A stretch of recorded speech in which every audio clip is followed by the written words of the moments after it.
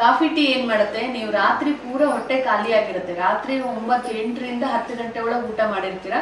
ಬೆಳಗ್ಗೆ ಏಳೋಷ್ಟರಲ್ಲಿ ಎಂಟು ಗಂಟೆಗಳ ಕಾಲ ಸಮಯ ಕಳೆದಿದೆ. ಆ ಎಂಟು ಗಂಟೆಗಳಲ್ಲಿ ನಿಮ್ಮ ಆಹಾರಗಳು ಸಂಪೂರ್ಣ ಹೊಟ್ಟೆಯಿಂದ ಖಾಲಿಯಾಗಿ ಜಠರವನ್, ಜಠರದಿಂದ ಕರಳನ್ನ ಸೇರಿರುತ್ತೆ. ಸಣ್ಣ ಕರಳು, ದೊಡ್ಡ ಕರಳಿಗೆ ಪಾಸ್ ಆಗಿ ಎಲ್ಲ ದೊಡ್ಡ ಕರಳಲ್ಲಿ ಅಜೀರ್ಣ ಆಗ್ಲಿ, ನಿಮ್ಮ ಜಠರ ಜಾಗದಿಂದ ಕರಳಿಗೆ ಪ್ರವೇಶ ಮಾಡುತ್ತೆ. ಕರಳಿಗೆ ಪ್ರವೇಶ ಮಾಡದ್ಮೇಲೆ ಜಠರದಲ್ಲಿ ಆಸಿಡ್ ಬರಕ್ ಶುರುವಾಗುತ್ತೆ. ಅದನ್ನ ಕಾಯಿಸೋ ಆಗಿಲ್ಲ ಪ್ರತಿ ನಾಲ್ಕು ಗಂಟೆಗೆ ಒಂದು ಆಹಾರವನ್ನ ಕೊಡ್ಲೇಬೇಕು. ಅದಕ್ಕೆ ತಕ್ಕಂತ ಆಹಾರವನ್ನ ನೀವು ತಗೊಳ್ಬೇಕು. ನಿಮ್ಮ ವೃತ್ತಿ ಜೀವನ ಹೇಗಿದೆ? ದೇಹ ದಂಡಿಸಿ ಕೆಲಸ ಮಾಡೋರು ಮುದ್ದೆ ತಿಂದ್ರು ಜೀರ್ಣ ಮಾಡ್ಕೋಬಹುದು ದೇಹ ದಂಡಿಸ್ದೇ ಇರ್ತಕ್ಕಂಥವ್ರು ಮುದ್ದೆ ತಿಂದ್ರೆ ಹಶ್ವಾಗಲ್ಲ. ವಯಸ್ಸಾದವರು ಸಾಮಾನ್ಯ ಹಳ್ಳಿಲಿರೋರು ಬೆಳಗ್ಗೆನೆ ಮುದ್ದೆ ತಿಂತೀರಾ? ಆದ್ರೆ ವಯಸ್ಸಾಗಿದೆ, ಯಾವ ಕೆಲಸ ಮಾಡೋಕ್ಕಾಗಲ್ಲ. ಅವ್ರಿಗೆ ಹಶ್ವಾಗಲ್ಲ, ಒಟ್ಟಿಗೆ ರಾತ್ರಿ ತಿಂತೀರಾ? ಅದು ನಿಮ್ಗೆ ದೇಹಕ್ಕೆ ತೊಂದರೆ ಕೊಡ್ತದೆ. ಹಾಗಾಗಿ ಬೆಳಗಿನ ಆಹಾರವನ್ನ ಆದಷ್ಟು ಮೃದುವಾಗಿ ಇಟ್ಕೊಳ್ಳಿ ಸೊಪ್ಪು, ತರಕಾರಿ, ಹಣ್ಣುಗಳನ್ನ ಹೆಚ್ಚಾಗಿ ಆಹಾರಗಳಲ್ಲಿ ಬಳಸಿ ಬೇಗ ಹಸಿವಾಗುತ್ತೆ, ದೇಹಕ್ಕೆ ಶಕ್ತಿನೂ ಸಿಗುತ್ತೆ, ಜೀರ್ಣಕ್ರಿಯೆನೂ ಚೆನ್ನಾಗಾಗುತ್ತೆ. ಮಧ್ಯಾಹ್ನ ಒಂದರಿಂದ ಎರಡು ಗಂಟೆ. ಈ ಒಂದರಿಂದ ಎರಡು ಗಂಟೆ ಸಮಯ ಆಹಾರಕ್ಕೆ ಸೂಕ್ತವಾದಂತ ಸಮಯ. ಮಧ್ಯಾಹ್ನದ ಆಹಾರವನ್ನ ಒಂದರಿಂದ ಎರಡು ಗಂಟೆಲೇ ಮಾಡ್ಬೇಕು. ಅದಕ್ಕೆ ಮೀರಿ ನೀವು ಮೂರು ಗಂಟೆಗೆ ನಾಲ್ಕು ಗಂಟೆ ಕೊಡಕ್ ಹೋದ್ರೆ ಅದಕ್ಕೆ ಹಶ್ವಿರಲ್ಲ ಸಾಮಾನ್ಯ ಹಶ್ವಿನ ಸಮಯನೇ ಒಂದರಿಂದ ಎರಡು. ಅದು ನೀವು ಎರಡು ಗಂಟೆ ದಾಟದ್ಮೇಲೆ ಕ್ರಮೇಣ ಹಸಿವು ಕಡಿಮೆ ಆಗ್ತಾ ಹೋಗುತ್ತೆ. ನಿಮಗೆ ನೆನಪೇ ಇರಲ್ಲ. ನಾನು ಊಟ ಮಾಡಿಲ್ಲ ಅನ್ನೋದೇ ನೆನಪಿರಲ್ಲ. ಯಾಕೆಂದ್ರೆ ಅದು ಹಸ್ತು ಮರ್ತೋಗುತ್ತೆ. ಅದು ಮರ್ತೋದ್ಮೇಲೆ ನೀವು ನೆನಪಿಸಿ ಕೊಡಕ್ ಹೋಗ್ತಿರಲ್ಲ, ಅವಾಗ ಜೀರ್ಣ ಮಾಡಲ್ಲ. ತಿಂದ ತಕ್ಷಣ ಮಲಗಬಾರ್ದು. ನಿಮ್ಮ ಎರಡು ಗಂಟೆ ಮುಂಚೆ ತಿನ್ಬೇಕಂತ ಹೇಳಿದ್ರೆ ಎಂಟು ಗಂಟೆಗೆ ತಿನ್ನೋದು ತುಂಬಾ ಒಳ್ಳೇದು. ಹತ್ತು ಗಂಟೆಗೆ ಮಲಗೋದು ಸೂಕ್ತವಾದ ಸಮಯ. ಹತ್ತು ಗಂಟೆಗೆ ಎಲ್ಲಾರ್ಗೂ ನಿದ್ರೆ ಶುರುವಾಗುವಂತ ಸಮಯ. ಒಂಬತ್ತುವರೆಯಿಂದನೇ ಸ್ವಲ್ಪ ಕಣ್ಣು ಎಳಿಲಿಕ್ಕೆ ಶುರುವಾಗುತ್ತೆ. ಹತ್ತು ಗಂಟೆ ನಿದ್ರೆ ಸಮಯ. ಅದನ್ನ ಮಾಡಲ್ಲ. ಈ ಧಾರಾವಾಹಿ ಮುಗ್ದಿಲ್ಲ ನ್ಯೂಸ್ ಮುಗ್ದಿಲ್ಲ, ನಮ್ಮ ಯಜಮಾನ್ರು ಬಂದಿಲ್ಲ ಮಕ್ಳದಾಗಿಲ್ಲ ಇವ್ರದ್ದಾಗಿಲ್ಲ ಒಟ್ಟಲ್ಲಿ ರೀಸನ್ ಇದೆ. ಆ ರೀಸನ್ಗೆ ಅರ್ಥ ಇಲ್ಲ ಅಷ್ಟೇ.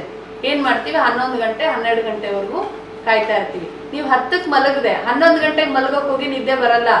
ಆಮೇಲೆ ಅದು ಬರಕ್ ಒಂದ್ ಗಂಟೆ ಕಾಯ್ಬೇಕು. ಅವಾಗ ಮೊಬೈಲ್ ಇಟ್ಕೊಳ್ಳೋದು. ನಿದ್ದೆ ಬರುತ್ತಲ್ಲ ಅದಕ್ಕೆ ಮೊಬೈಲ್ ಯೂಸ್ ಮಾಡ್ತಿದ್ದೀವಿ ಹಿಂಗೆ ಒಂದಕ್ಕೊಂದು ರೀಸನ್ ಗಳನ್ನ ಹುಡುಕ್ತಾ ಹುಡುಕ್ತಾ ಹುಡುಕ್ತಾ ತಪ್ಪ ಮೇಲೆ ತಪ್ಪು ಮಾಡ್ತಿರ್ತೀವಿ. ನೀವು ಹತ್ತಕ್ಕೆ ಆರಾಮ್ಸೆ ಎಂಟಕ್ಕೆ ಊಟ ಮಾಡಿ ಹತ್ತಕ್ಕೆ ಹೋಗಿ ಮಲಗಿ, ನಿದ್ರೆ ತಾನಾಗೆ ಬರುತ್ತೆ. ನೀವು ಹತ್ತಕ್ಕೆ ಮಲಗೋ ನಿದ್ರೆ ಬೆಳಗ್ಗೆನೆ ಹೇಳೋದು. ನೀವು ಹನ್ನೊಂದು, ಹನ್ನೆರಡಕ್ಕೆ ಮಲಗೋ ನಿದ್ರೆ ಮಧ್ಯ ಮಧ್ಯೆ ಎಬ್ರಿಸುತ್ತೆ.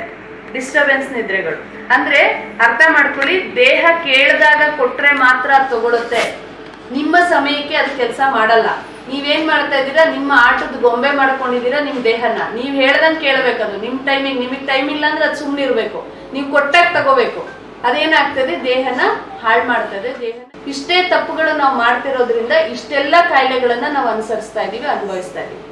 ಇನ್ನು ರಾತ್ರಿ ಎಂಟರಿಂದ ಒಂಬತ್ತು ಗಂಟೆ ಊಟ ಮಾಡ್ತೀವಿ ಅಂದ್ರೆ ರಾತ್ರಿ ಊಟ ಅಜೀರ್ಣ ತಿನ್ಬಾರ್ದು. ಯಾಕಂದ್ರೆ ತಿಂದ್ಮೇಲೆ ನಾವು ಮಲಗ್ತೀವಿ, ಅಲ್ಲಿ ನೀರ್ ಕುಡಿಯೋದಿರಲ್ಲ, ಕೆಲಸ ಮಾಡೋದಿರಲ್ಲ, ಹಾಗಾಗಿ ಅಜೀರ್ಣ ಆಗುವಂತ ಆಹಾರಗಳನ್ನ ತಗೊಳ್ಬಾರ್ದು. ಅಂದ್ರೆ ರಾಗಿ ಮುದ್ದೆ ತಗೋಬೇಡಿ. ಮುದ್ದೆ ತಿಂದ್ರೆ ರಾತ್ರಿ ಮಲಗಿದಾಗ ನಿಮಗೆ ಜೀರ್ಣ ಆಗಲ್ಲ. ಗೋಧಿ, ಚಪಾತಿ ರಾತ್ರಿ ಜೀರ್ಣ ಆಗಲ್ಲ.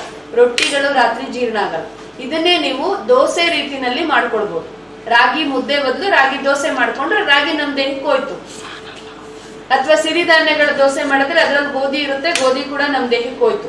ಆದ್ರೆ ಬರೀ ಗೋಧಿಯನ್ನ ಬಳಸಕ್ ಹೋಗ್ಬಿಡಿ. ಗೋಧಿ ನಮಗೆ ಜೀರ್ಣ ಆಗುವಂತ ಆಹಾರಗಳಲ್ಲ. ಯಾಕಂದ್ರೆ ಅದ್ ನಮ್ ದೇಶದ ಆಹಾರನೂ ಅಲ್ಲ, ಅದ್ ನಮಗೆ ಹೊಂದಾಣಿಕೆ ಆಗಲ್ಲ. ಆದ್ರೂ ಬಾಯಿ ರುಚಿಗೋಸ್ಕರ ತಿಂದು ಕಾಯಿಲೆಗಳನ್ನ ಜಾಸ್ತಿ ಮಾಡ್ಕೊಳ್ತಾ ಇದೀವಿ.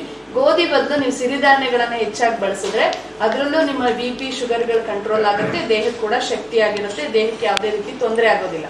ರಾತ್ರಿ ವೇಳೆ ಆದಷ್ಟು ದೋಸೆ ಐಟಮ್ಗಳನ್ನ ಅಥವಾ ಸಿರಿಧಾನ್ಯಗಳ ರೈಸ್ ತಗೊಳ್ಳೋಂಥದ್ದು ಅಥವಾ ಕೆಂಪು ಕುಸ್ಲಕ್ಕಿ ಬಾಯ್ಲ್ಡ್ ರೈಸ್ ಅನ್ನ ತಗೊಳ್ಳೋಂಥದ್ದು ಒಂದ್ ಅಂಶ ನನ್ನ ಮಕ್ಕಳಿಗೆ ನನ್ನ ಗಂಡಂಗೆ ನನಗೆ ಸಿಕ್ಕಿದೆ ಅಂತ ಯೋಚನೆ ಮಾಡಿ ಮಾಡೋರಿಲ್ಲ. ಇವತ್ತು ಬೆಳಗ್ಗೆ ಆದ್ರೆ ಸಾಂಬಾರ್ ಮಾಡಬೇಕು, ಯಾವುದೋ ಒಂದು ತರಕಾರಿ ತಂದು ಇದು ಎಷ್ಟು ಹಾಕೋದು, ಹೆಂಗ್ ಮಾಡೋದು, ಏನೂ ಇಲ್ಲ. ಸಮಯ ಇಲ್ಲ ಯಾರಿಗೂ. ಯೋಚನೆ ಮಾಡೋಕ್ಕೂ ಟೈಮ್ ಸಿಗ್ತಾ ಇಲ್ಲ. ಆ ತರ ಮಾಡ್ಕೊಂಡಿದ್ದೀರಾ. ಆಹಾರಗಳಲ್ಲಿ ಸಾಕಷ್ಟು ತರಕಾರಿಗಳನ್ನು ಬಳಸಿ. ನಿಮ್ಮ ಊಟದ ಪ್ಲೇಟ್ ಅನ್ನು ನೋಡಿದ್ರೆ, ಅದರಲ್ಲಿ ನಾಲ್ಕು ರೀತಿಯ ಆಹಾರಗಳು ಕಾಣಿಸ್ಬೇಕು. ಅದನ್ನ ಡೆಕೋರೇಟಿವ್ ಆಗಿಟ್ಟಿರ್ಬೇಕು ಪ್ಲೇಟ್ನ. ಡೆಕೋರೇಟಿವ್ ಅಂದ್ರೆ ರಂಗೋಲಿ ಬಿಡಿ, ಕಲರ್ ಹಚ್ಚಿ ಅಂತಲ್ಲ. ನಿಮ್ಮ ಫುಡ್ಡಲ್ಲೇ ಅಲಂಕಾರ ಮಾಡಿ. ಆ ಫುಡ್ ಪ್ಲೇಟ್ನ ನೋಡಿದ ತಕ್ಷಣ ಅದಕ್ಕೆ ಹಂತ ಹಂತವಾಗಿ ಹಾಕ್ಬೇಕು. ಸ್ವಲ್ಪ ರುಬ್ಬಿದ್ಮೇಲೆ ಸ್ವಲ್ಪ ನೀರ್ ಹಾಕ್ತೀರಾ? ಸ್ವಲ್ಪ ರುಬ್ಬಿದ್ಮೇಲೆ ಸ್ವಲ್ಪ ನೀರ್ ಹಾಕ್ತೀರಾ? ಹಾಗೆ ಮಾಡಿದ್ರೇನೆ ಒಂದ್ ಅದಕ್ಕೆ ರುಬ್ಬುತ್ತೆ ಅದು. ಅದೇ ರೀತಿ ನಿಮ್ಮ ಹೊಟ್ಟೆ ಕೂಡ ಆಹಾರ ತಿಂದ ತಕ್ಷಣ ನೀರು ಕುಡಿಯೋದು ಅಥವಾ ಆಹಾರ ತಿಂದ ಎಷ್ಟೋ ಹೊತ್ತಿಗೆ ಒಂದೇ ಸರಿ ನೀರು ಕುಡಿಯೋದು, ಈ ತರ ಮಾಡಿದ್ರೆ ಅದು ಜೀರ್ಣ ಮಾಡಲ್ಲ. ಅಥವಾ ನೀರು ಕುಡಿದಲೇ ಇದ್ರೂ